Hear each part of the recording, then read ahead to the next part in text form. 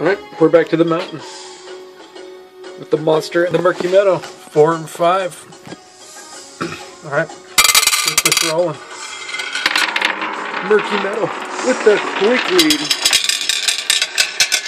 With that early, early advantage of having the inside edge did not seem to affect him at all. But the Monster right back. Oh, big hit by the by the drone. But oh, didn't phase him. Not one bit. Monstar. Here we go. Race two. The Monstar is up. If you saw in the last race, it was close. It was close. The Mickey Meadow, much like right here, came out of the vial so much faster. But you're gonna come out of there clean. How much further the Murky Meadow is. Let's leave the camera here until they come up. There, there they are. The last one into the foam. Murky Meadow's gonna get five. No, it looks like they're gonna come out and get what's that, two? Uh, Alright, race three. Yep. Merc came out and took a lead after race two. And it looks like they're gonna come out of the vial first again. Man, the Monster has been having a hard time. At least with the beginning portion. It's right here, gonna push Merc in the back. The first race, he got hit by a drone right through here, and it really messed things up. Much like right like like that. Okay, where the Merc and the Monster both gonna fight. Ooh. Alright, here we go. Race four.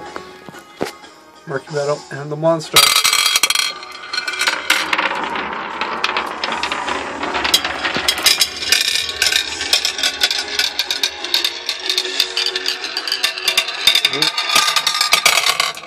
Every single time.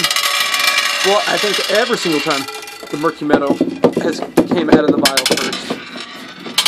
But that doesn't mean who comes in first. Has up there who's going to finish first. Oh.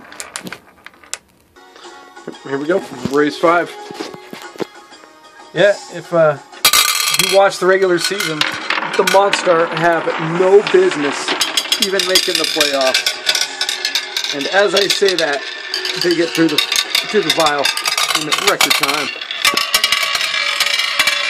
But yeah, they had four points going into week seven, and they were able to squeeze out a four seed, but that they're just not very consistent, and you can see it. All right, here we go. Race six. Yep, uh, the Monster are gonna do anything like they did during the regular season.